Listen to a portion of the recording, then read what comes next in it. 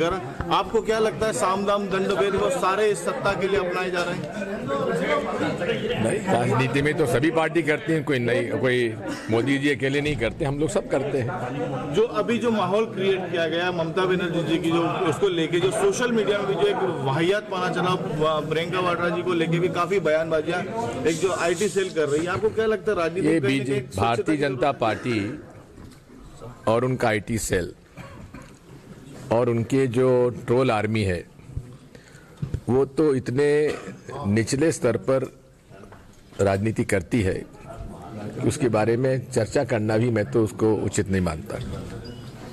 जहाँ तक ममता बनर्जी का प्रश्न है। उनके ऊपर सीबीआई की इंक्वायरी काफ़ी दिनों से चल रही है। उनके आईडी नीचे जो खास मुकुल रॉय थे, जो कि इस पूरे चिट फंड में मेन व्यक्ति थे, प्रमुख व्यक्ति थे वही अब भारतीय जनता पार्टी में जा चुके हैं। तो ये केवल प्रतिशोध की भावना से भारतीय जनता पार्टी की सरकार काम कर रही है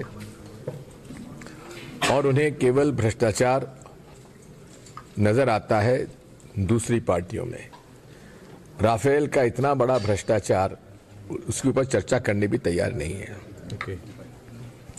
तो भारतीय जनता पार्टी और मोदी जी और अमित शाह की जोड़ी इनके लिए न नियम है ना कानून है ना कोई एक एक इस, जिस- जिस- जिस प्रकार का एक डेकोरम होता है पॉलिटिक्स में वो नहीं है।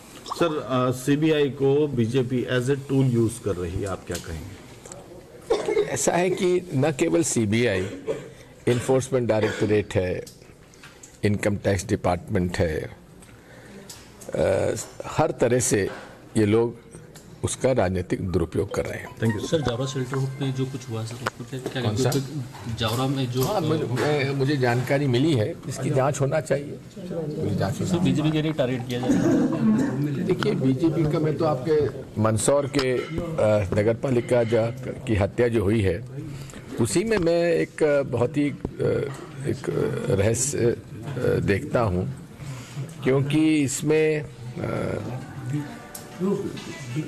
कोई भी व्यक्ति पच्चीस हज़ार रुपये के लिए हत्या नहीं करे। और उसमें कोई ना कोई एक गहरा रहस्य है और गहरा रहस्य में इसकी छानबीन पुलिस को करना चाहिए।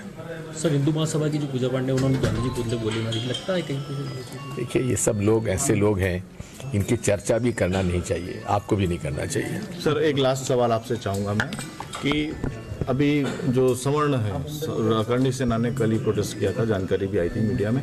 तो आने वाले जो आगामी लोकसभा चुनाव उसमें करणी सेना या जो सवर्ण वर्ग जो इसकी जो जो डिमांड है उनको लेकर what will be the next नहीं अब नया कानून बना है उसमें सभी ने सपोर्ट किया है कोई नई बात नहीं ये जो रिजर्वेशन देखिए जब कानून बन चुका है तो लागू अपने आप होगा।